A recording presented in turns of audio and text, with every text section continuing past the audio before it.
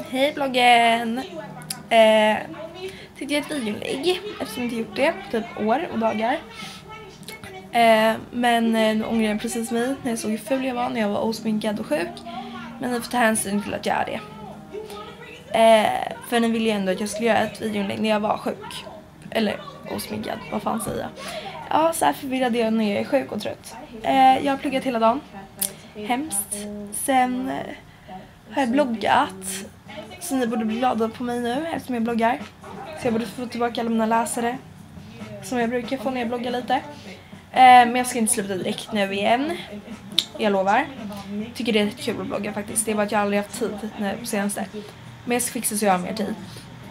Eh, och ni hör väl att jag är sjuk. Ja, ja. Eh, sen så... Uh, jag är ganska korkad som gör det här nu för jag har prov imorgon men det här går ganska snabbt att göra ett videoinlägg. För jag tänker inte göra fler än det här. Det här. Fast jag skämmer ut mig. Men eh, ni får bli glada för att ni får ett videoinlägg. Jag ser inte ut så här.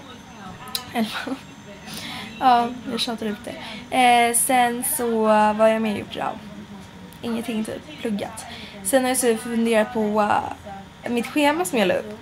Eh, Fanny säger att eh, hon hade en överraskning till mig. och Jag hatar överraskningar, alltså jag hatar dem inte för jag gillar ju när jag får dem.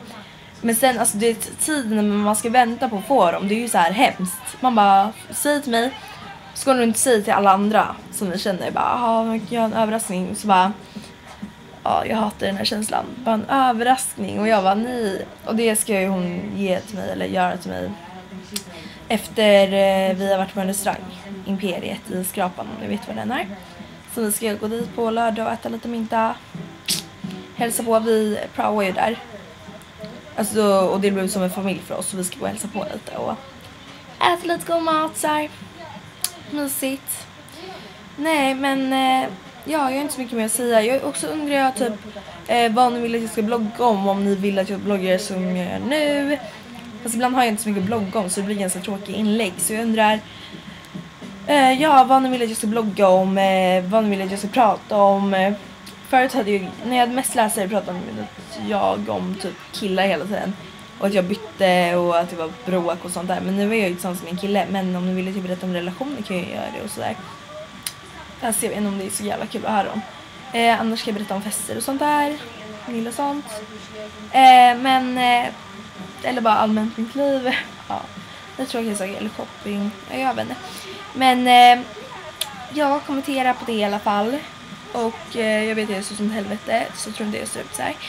Nej men eh, ja. Då får vi höra senare då. För jag ska gå och göra mat nu så. Mm.